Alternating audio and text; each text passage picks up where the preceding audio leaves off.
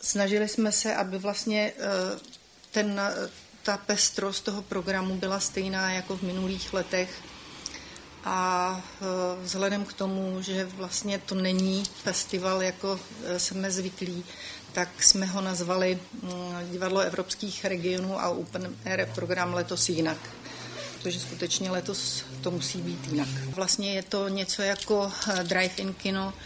ale uh, s divadlem. Bylo by to v termínu 26. až 28. 6.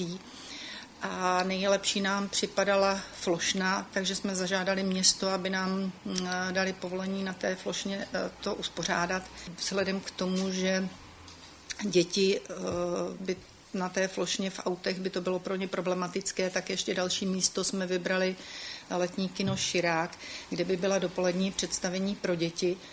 A potom večer bychom začínali v 18 hodin, protože předpokládáme, že by mohlo být i horko. A od 18 hodin by byly tři bloky eh,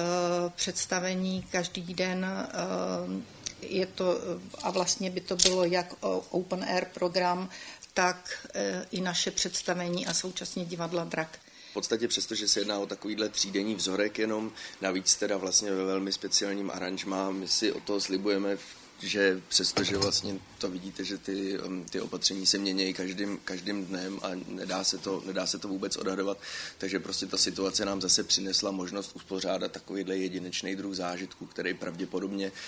uh, už se nikdy nebude opakovat, takže z tohohle pohledu nám to zase přijde jako vlastně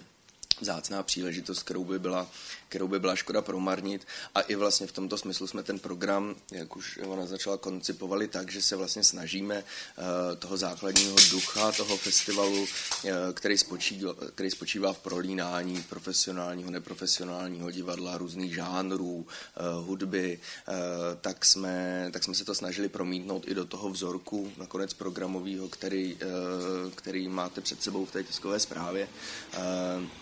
jsou tam některý naši tradiční hosti a, a zároveň, protože prostě ta situace, myslím, že to je jedna, jedna z pozitiv, který přineslo, tak jako nás eh, pobízí k tomu, abychom jako kulturní instituce spolu navzájem spolupracovali, věděli o sebe, pomáhali jsme si, tak jsme, tak, eh, tak vlastně součástí toho eh, programu je i taková takový drobný okýnko, já nevím, jak to nazvat, hradec sobě, nebo nebo jak chcete, že jsme vlastně přizvali eh,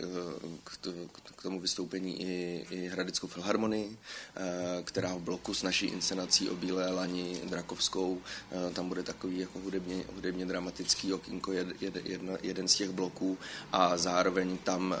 bude projekce od Bia Central venkovní, takže Drive-in divadlo se v rámci jednoho toho bloku promění na Drive-in kino, což je vlastně ta původní inspirace, ze který to vzešlo to rozhodnutí padlo, ale jak říkám, všechno zlé pro něco dobré. Myslím si, že ten výsledek